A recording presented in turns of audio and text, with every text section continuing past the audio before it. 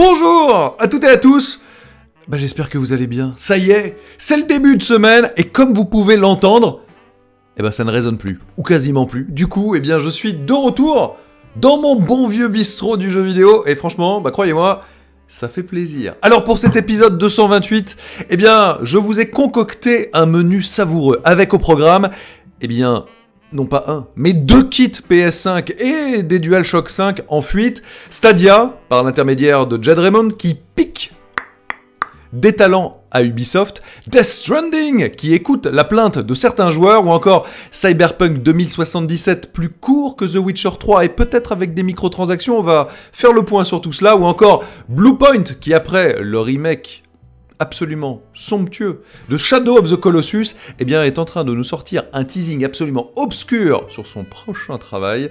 Bref, mesdemoiselles, mesdames, messieurs, c'est parti pour le bistrot du jeu vidéo.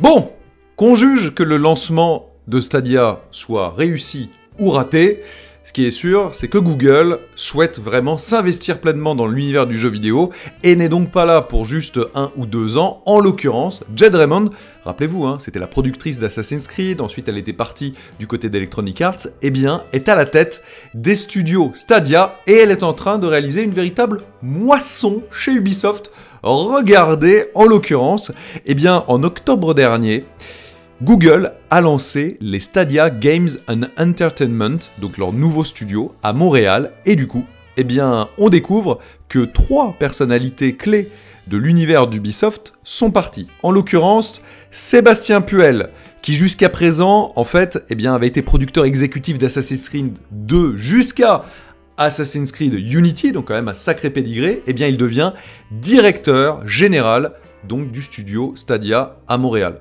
Ce n'est pas tout.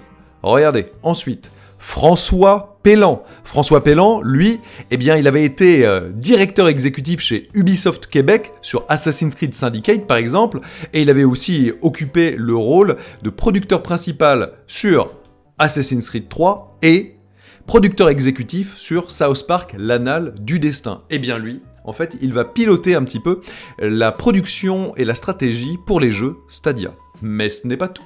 Regardez, une troisième personnalité du euh, côté de Ubisoft Montréal qui part, puisque en l'occurrence, Mathieu Leduc, lui, eh bien, il devient directeur artistique pour le nouveau studio de Stadia, et avant, il était assistant art director sur le premier Assassin's Creed, puis responsable de la direction artistique des deux premiers Watch Dogs. Bref, Jed Raymond, très clairement, a fait ses courses chez Ubisoft, au Canada, Reste à voir maintenant comment ces trois personnalités, entourées bien sûr du reste des équipes, vont pouvoir piloter les choses pour bah, les prochains jeux euh, Stadia, les vraies exclusivités, parce que pour l'instant, à part Guild, il y a quand même véritablement pas grand chose.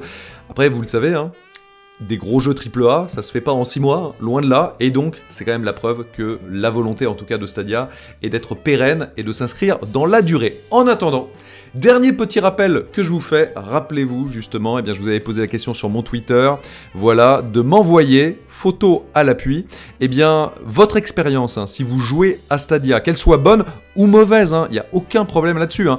Est-ce que vous avez ressenti une latence gênante comment euh, est votre débit chez vous, etc. Bref, dites-le moi et je ferai une vidéo récapitulative de vos retours. Vraiment, j'ai envie de vous donner la parole, en tout cas aux joueurs qui ont vraiment essayé Stadia, histoire de sortir le vrai du faux avec des expériences réelles de joueurs. Une fois de plus, hein, qu'elles soient bonnes ou mauvaises, c'est à vous de me dire. Allez, on enchaîne.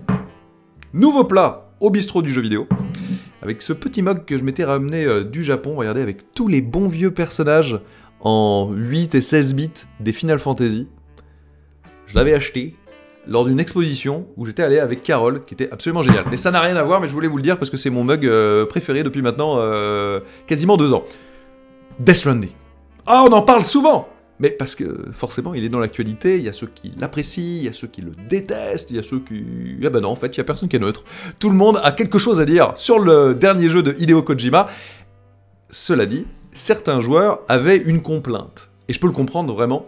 Il trouvait que les textes étaient écrits vraiment trop petits, en minuscules, et c'est pas moi qui porte des lunettes avec des gros verres qui vais vous dire le contraire, eh bien, vous avez, nous avons été entendus. En l'occurrence, regardez, Kojima Productions qui dit Bonne nouvelle, on est en train de travailler sur une mise à jour. Il y en a eu pas mal hein, depuis le lancement du jeu. Celle-ci est prévue pour la mi-décembre et justement, elle devrait apporter eh bien, une taille de texte un peu moins petite, hein, histoire de rendre euh, l'expérience encore plus agréable, parce que c'est vrai qu'en plus du gameplay, il y a énormément de choses à lire, il y a des mémos, il y a des emails, etc. Et euh, si vous avez une petite télé ou si vous êtes trop loin de votre écran, c'est vrai que parfois, ça peut être quand même tout à fait miniature. Allez, troisième plat, et vous allez voir, là il s'agit vraiment d'un plat extrêmement copieux, très très consistant, qui va nous amener autour de Cyberpunk 2077. Première information. Lors en fait d'une séance de questions-réponses, eh bien, CD Projekt a souligné que Cyberpunk 2077, en tout cas son histoire principale et les quêtes secondaires les plus importantes, seraient globalement un peu plus courts que leur équivalent dans The Witcher 3.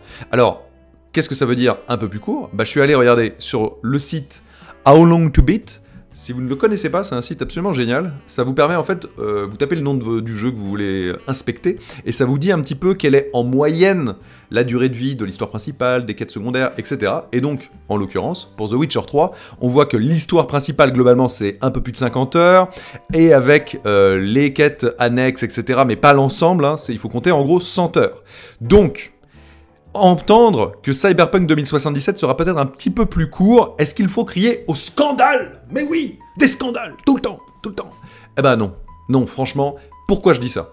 Eh bien parce que les développeurs ont bien précisé que si l'aventure principale serait un petit peu plus courte, d'ailleurs ils n'ont pas dit que ce serait beaucoup plus court, hein, il faudra voir exactement de combien, la rejouabilité en revanche du jeu a été au cœur de l'équation et elle serait bien meilleure que The Witcher 3. En l'occurrence, Rappelez-vous, hein, toutes les présentations, on a pu constater que en fonction de son alignement, etc., le côté RPG du jeu nous permettra d'aborder chaque situation de manière différente. Et donc, on pourra recommencer l'aventure en tentant des choses et en voyant probablement des, éléments très différents. Moi, je me rappelle quand on m'avait fait la présentation lors de la Gamescom, les embranchements en plus amenaient vraiment à des situations distinctes. Et donc, c'est pas juste de la rajouabilité pour voir juste un tout petit truc en plus. Non, non, ça pouvait faire des beaux embranchements donc en cela, c'est quand même assez intéressant euh, à préciser quand même, hein, pour ceux qui veulent vraiment être très très très précis, et vous avez bien raison, qu'ils ont bien précisé que c'était l'histoire principale et les quêtes annexes principales, mais pas l'ensemble des quêtes annexes. Du coup, au global, c'est même pas dit que ce soit pas euh, à peu près similaire, mais ça ce sera à voir lorsque le jeu sortira le 16 avril 2020, et mine de rien, ça va venir extrêmement vite. Mais on reste encore un instant dans l'univers et le giron donc de Cyberpunk 2077, parce qu'il y a eu une information là qui a fait couler énormément d'encre. Scandale C'est quoi? Eh bien, c'est tout simplement cela. Le fait est que dans un article polonais, eh bien, on pouvait imaginer, croire, euh, lire en tout cas, que CD Projekt eh bien, allait intégrer des microtransactions dans sa composante multijoueur du jeu. Sauf que, visiblement, l'article aurait été en fait relativement mal traduit et que CD Projekt est revenu sur la question et n'a jamais dit cela. Ils ont plus précisé que oui, ils vont chercher à monétiser d'une certaine manière le multijoueur, mais qu'à l'heure actuelle, ils ne savent pas encore sous quelle forme. Donc, a priori, ce ne sera pas des microtransactions, ils l'ont souligné, ils étudient plusieurs options, et ils ne veulent pas changer leurs habitudes, à savoir bah, une monétisation sage, je cite, et respectueuse des joueurs. Je veux dire, euh, vouloir ajouter des éléments de monétisation à un contenu large, riche et généreux, c'est pas forcément un mal à partir du moment où c'est bien fait, où ça a de la valeur, etc. Donc, avant de crier, on va attendre, une fois de plus, alors un peu plus que le 16 avril, parce que vous le savez, hein, le multijoueur arrivera, mais plus tard, pour voir un petit peu ce dont il en retourne. Allez Le plat que je vais vous servir maintenant, je sais qu'il est très très attendu par beaucoup d'entre vous, et par moi aussi. Non pas un, mais deux kits PS5 en fuite dans la nature. Regardez, c'est The Drunk Cat, voilà. Eh oh, regardez, ce serait pas la PS5 Alors c'est pas la PS5, hein, je vous le rappelle, hein, mais bel et bien les kits de développement de la PS5. Rappelez-vous, hein, il y a quelques mois de cela, grâce à mes sources, hein, j'avais été en mesure de vous confirmer que oui, ces croquis qu'on avait vus dans un brevet, rappelez-vous, au Brésil, étaient bien les kits de développement de la PS5. Ça, je peux vous l'assurer à 100% parce que je les ai vus de mes yeux vus depuis maintenant un bon bout de temps. Et cela confirme d'ailleurs ce que je vous avais dit à l'époque, à savoir que sur le côté, il y a un écran, voilà, avec des informations, et ensuite, qui a un port, il y a des ports USB, mais il y a un port USB-C, puisque le DualShock, on va l'appeler le DualShock 5, hein, il n'a pas de nom officiel pour l'instant, sera bien en USB-C. Et d'ailleurs, les deux manettes que l'on voit là, sur le côté, regardez, je vous zoome un petit peu, eh bien, ça devrait normalement être des manettes DualShock 5. Alors oui, oui, je sais, hein, ça ressemble énormément aux manettes PS4, mais à la fois, bah, c'est ça, hein, il y a la barre, etc. Il y a juste la barre lumineuse à l'arrière qui n'y sera pas. En revanche, il y a des petites subtilités, et d'après les échos que je peux avoir de développeurs qui ont d'ores et déjà ces kits de développement, la manette est quand même plus lourde légèrement plus lestée et les sticks un tout petit peu plus rigides, mais bon, ça c'est très léger pour l'instant de ce qu'ils ont pu me dire. À suivre. Alors attention, hein. attention, une fois de plus, je, vous le remets hein, parce que c'est important, ces kits de développement ne présagent pas du tout le look de la PS5. En tout cas, pas forcément. Puisque, regardez par exemple, juste derrière là, en haut à droite, vous voyez deux boîtes. Bah, ce sont les kits de développement de la PS4 et de la PS4 Pro. Et je pense que vous serez relativement d'accord avec moi pour dire qu'il ne ressemble absolument pas à la PS4 ou à la PS4 Pro. Et ça a toujours été le cas du côté de Nintendo, de Xbox, de PlayStation. Il n'y a que le kit de développement PS2 qui ressemblait un peu à ce à quoi ressemblait au final la PS2, mais pas totalement pareil. Alors après, euh, l'histoire est un, un éternel recommencement, ou pas. Peut-être que cette fois-ci, ça ressemblera à ça mais ce serait bien la première fois. Hein. Voilà. Euh, un autre point aussi qui me paraît important, c'est là je vous parle de kit de développement PS5 et je vous en parle relativement régulièrement parce que Sony communique beaucoup dessus, parce qu'il commence à avoir pas mal de fuites. Et là vous allez me dire, ouais, mais tu parles jamais de la Xbox Scarlett, ça. Alors déjà c'est pas vrai, mais c'est vrai que j'en parle moins, c'est un fait. Bah, tout simplement qu'il y a peu d'informations pour l'instant, eh bien regardez. Et ça, ça me paraît extrêmement intéressant.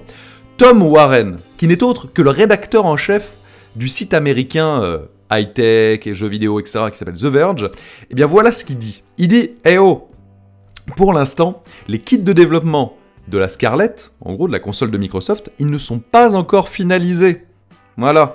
Et Microsoft voudrait cette fois-ci surprendre Sony, et c'est pourquoi, de ce que m'est revenu aux oreilles, évidemment, les équipes first party, hein, ça veut dire les studios qui appartiennent à Microsoft, ont les kits de développement de la Xbox Scarlett, évidemment. En revanche, pour l'instant, elle, a été très très peu diffusée ailleurs, et c'est pour ça que on en parle moins, qu'on la voit pas, etc. Ils sont beaucoup plus... C'est marrant hein, d'ailleurs, je trouve que la communication de Microsoft et de Sony est très différente. Sony parle beaucoup, finalement. Ils sont pas venus à l'E3 et tout, mais ils parlent, ils parlent, ils font des interviews, ils montrent des choses, ils annoncent le nom officiel, c'est la PS5. Microsoft, euh, il la joue beaucoup plus profil bas pour l'instant. Et donc, bah, ce que nous dit Tom Warren, ce serait pour surprendre les joueurs et la concurrence. Bah écoutez, ça s'annonce extrêmement intéressant. J'ai hâte. Vraiment. Et vous aussi, je le sais, vous me direz dans les commentaires si vous me confirmez cela ou pas. Mais j'ai mon, mon petit doigt qui me dit que oui. Allez, on va conclure avec un teasing.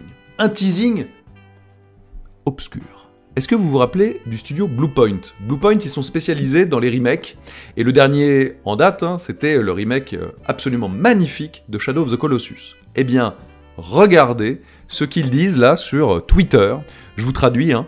Aux classiques auxquels nous jouons, notre sang, notre sueur et nos larmes les remercient.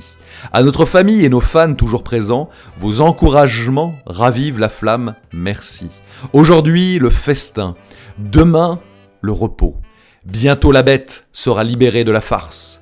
La tentation que nous fuyions, puis vers la suivante, nous réinitialiserons pour décorer la Genèse, une époque renaît.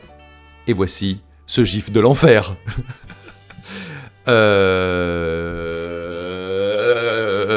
Alors, vous allez me dire vraiment dans les commentaires à quoi vous pensez. Les rumeurs jusqu'à présent pointaient vers peut-être du Metal Gear, ou bien du Legacy of Kane, ou bien du Demon Souls, ou du Castlevania. Et quand je dis Castlevania, c'est vrai que bah, il y a quelques jours de cela, Ils avaient fait un autre tweet, regardez, c'était pour Halloween, où là carrément le gif avec les chauves-souris, l'ambiance rouge, ça faisait très Castlevania, mais il y avait du Metal Halloween, du Siphon Souls, alors il y certains qui disaient euh, Siphon Filter, il y avait du Soft from Solid. Enfin bref, ils s'amusent avec nous, et pour l'instant, ça pourrait être un peu tous les jeux que je vous ai évoqués, hein, Metal Gear, Legacy of Kain, Demon Souls, Castlevania. Bah, vous savez quoi? J'ai l'impression que les Game Awards approchent, 12 au 13 février. Bah, février. Julien Décembre, dans la nuit du 12 au 13 décembre, et ce sera à vivre ici même sur la chaîne en Game Awards Caroju. Eh bien, nous aurons peut-être notre réponse. Et il sera donc temps moi je continue à briquer mon mug, hein, histoire qu'il soit au top, eh bien de découvrir peut-être tout cela. En tout cas, j'ai hâte. Et vous allez me dire, vous, dans les commentaires, eh bien à quel jeu vous pensez, et celui aussi peut-être que vous espérez. Voilà en tout cas, c'est tout pour moi aujourd'hui pour le bistrot 228 du jeu vidéo. Eh ben n'hésitez pas, c'est l'heure du pape le petit pouce bleu qui fait plaisir si vous avez aimé toutes les infos que je vous ai données, l'abonnement à la chaîne si ce n'est pas encore fait pour rester euh, connecté à l'actualité du JV. Pensez bien à cocher la cloche aussi, hein, que vous soyez abonné depuis longtemps ou pas, ou récemment, comme ça vous serez bien signifié de l'arrivée des prochaines vidéos, et puis le partage de cette vidéo sur vos réseaux sociaux si elle vous a plu. Mesdemoiselles, mesdames, messieurs, vive notre passion du jeu vidéo. A très bientôt les amis. Ciao